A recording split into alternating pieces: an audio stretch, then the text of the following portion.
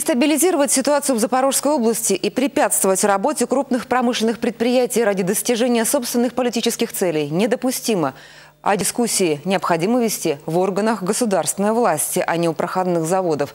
Об этом комментируя вчерашние события, связанные с попыткой блокирования работы металлургического комбината «Запорожсталь», заявил председатель областной государственной администрации Валерий Баранов. Напомним, вчера радикально настроенные молодые люди с символикой правого сектора перекрыли въезды и выезды с комбината. Была поставлена под угрозу бесперебойная работа предприятия.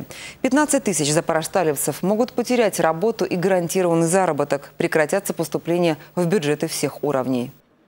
Это ширма, за которой чисто политическая ситуация, политическая подоплека.